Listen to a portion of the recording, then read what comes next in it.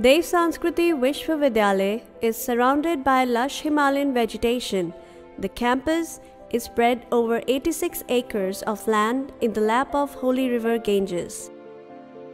Dev Sanskriti Vishwavidyalaya, established in the year 2002, is duly recognized by UGC and sponsored by Shantikunj Haridwar, a renowned socio-spiritual organization.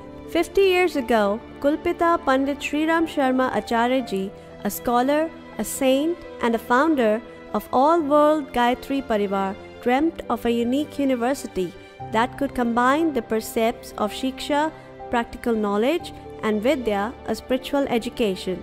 The unique combination of Gurukul style of teaching with most modern curricular and the use of latest technology leads to holistic development of the students.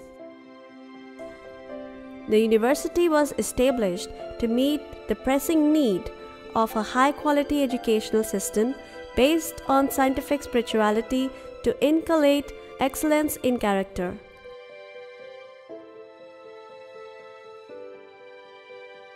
Dev Sanskriti Vishwavidyalaya have some of the distinct features which is the central library which has a very rich collection of over 37,000 books and journals and over 1100 e-journals.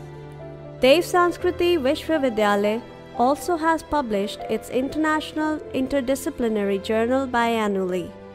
Gyan Diksha ceremony or traditional invocation at the beginning of each semester gives direction and aim to the freshers. Through this ceremony, the mind of the students is prepared for receiving knowledge.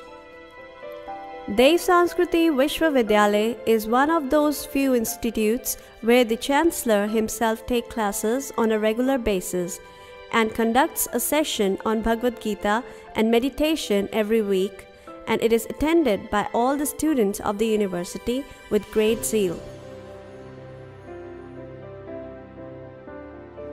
Meditation sessions help to maintain the psychological well being of the students and awaken the latent talent within them.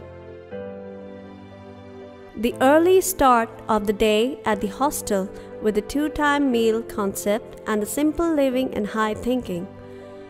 Every morning, participation in daily yoga and yagya and ending with evening prayers and evening meditation with Nad Yoga.